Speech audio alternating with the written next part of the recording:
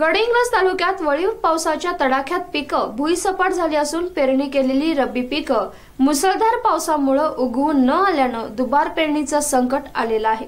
यामुळं आता बळीराजा सरकारकडून नुकसान भरपाई मिळण्याच्या प्रतीक्षेत आहे. भात आणि सोयाबीन पीक काढणी आणि मळणी चालू असताना दुपारनंतर गडिंग्लज तालुक्यात गेले चार दिवस वळीव पाऊस जोरदार हजेरी लावत आहे.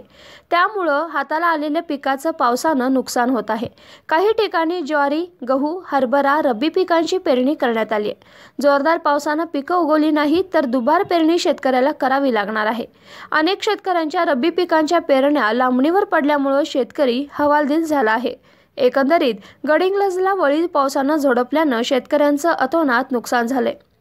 तहसील विभागाकडून कृषी विभागाला पंचनामे करण्याच्या सूचना दिल्या असून शेतकऱ्यांना नुकसान भरपाई तात्काळ मिळावी म्हणून महाराष्ट्र नवनिर्माण सेनेने प्रांताधिकारी कार्यालयास निवेदन दिलं आहे.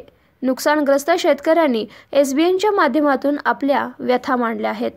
पहिला कोरोना जीव गेला आता पावसानं आणि हे जीव आलाय हे सगळं ऊस शाळू आम्ही टाकलेलं भात सगळं लॅप झाले आता काय करायचं आम्ही? हरभरातरी गेलात. शाळू बी हे गेलेत. तिथं गहू बी गेलेत. आता इथनं पुढे कसं काय करायचं? सरकारने काय ते त्याच्यावर तुळजाळ करायला पाहिजे. शे सगळं आमचं शेतकऱ्यांचं सगळं गहू टाकलो शे- शाळू टाकलो भात बित सगळे गेल्यात. काय? आता आम्ही शेतकरी काय जगायचं काय करायचं? सगळं तुम्ही सरकार जरा नियोजन हे करा. काय? सगळं मी सगळा हंगाम टाकला नाही माझं दहा एकर माझं जमीन सगळं पडलेलं आहे. ऊस गेला भात गेला सोयाबीन गेले शाहू गेले. महाराष्ट्र नवनिर्माण सेनेच्या वतीनं आज प्रांत अधिकाऱ्यांना निवेदन दिलेलं आहे. गडिंगला आजरा चंदगड भागामध्ये जो दहा तारखेला मुसळधार पाऊस झाला यामध्ये शेतकऱ्यांचं ऊस पीक सोयाबीन भात भुईमुग हे पूर्णपणे नुकसान झालेलं आहे.